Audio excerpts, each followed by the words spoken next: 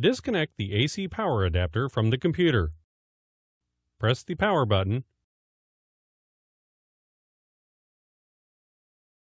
Then, repeatedly press the F1 key until the BIOS appears. Use the right arrow key to select the configuration menu. Use the down arrow key to select power and press enter. Then, select Disable built-in battery and press enter. Confirm that Yes is selected and press enter to power down the system.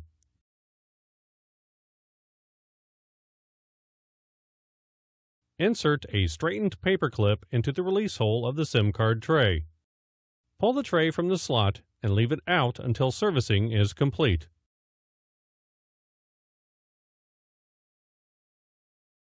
Place a plastic pry tool into each of the two notches located near the front edge of the keyboard frame. Carefully slide the frame forward about 2.5 millimeters to reveal the screws. Make sure no keys are blocking the frame's movement.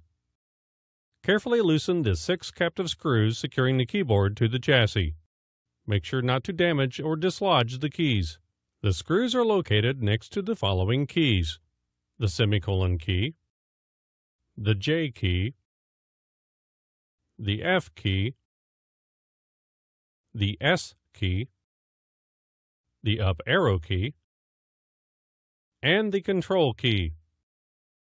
Lift the front edge of the keyboard, then lift the rear edge to expose the cables.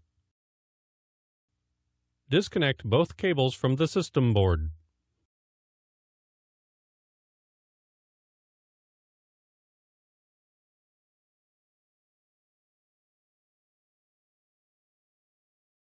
Connect both keyboard cables to the system board.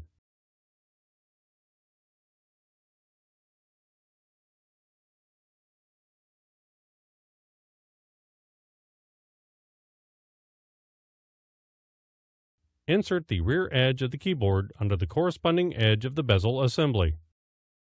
Carefully press down to snap the keyboard into place.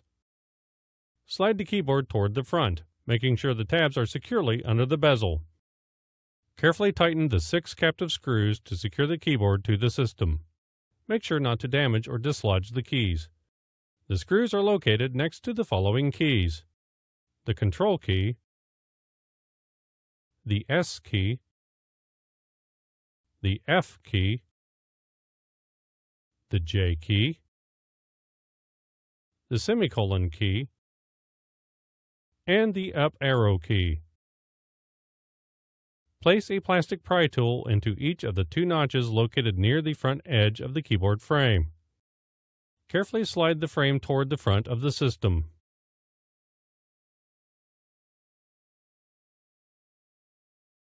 Insert the SIM card under the tab in the SIM card tray. Insert the tray into the slot until it clicks into place.